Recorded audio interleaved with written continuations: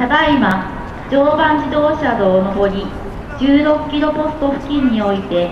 車両3台が絡む交通事故が発生し追突した普通乗用車の運転手が携帯電話で119番通報をしています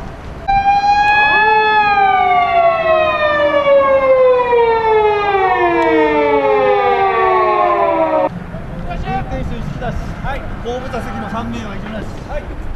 せ入れます。運転手さん。はい。重傷と思われる。さらに3台目の運転手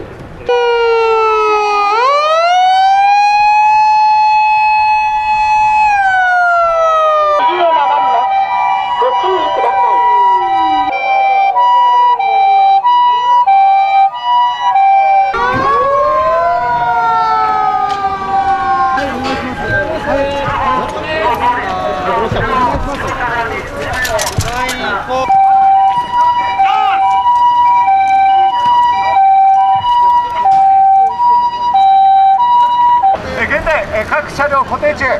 救出に当たります了解今今今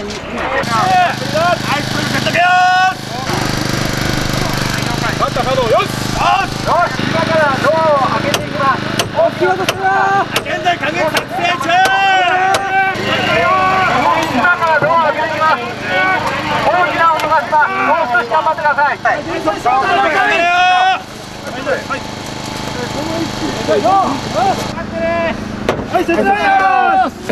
頑張ってください。ね侵入あと慎重に行けしてた大丈夫ですか現在ショック状態で胸部打撲がか、えー観察できます。呼吸をしてるね。はい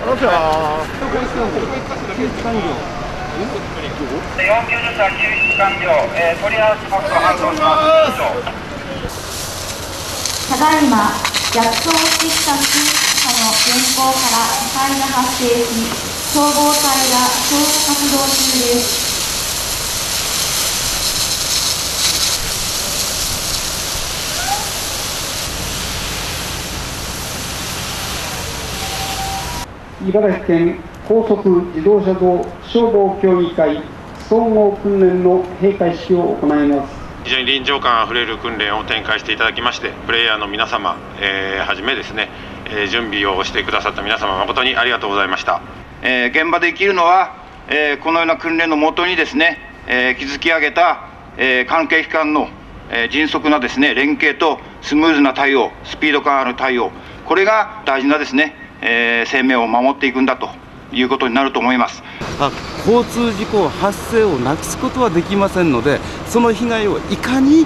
小さくするかということがあ我々の一番大切なことだと思いますいかに希望を小さくするかそういったことを今日は目的にしてあの毎年年に1回なんですけどこういうような訓練を行っております関連するいろいろなあセクションが集まりましてえー素晴らしくこの訓練になったと思います。はい。あたくさんの交通事故が発生しております。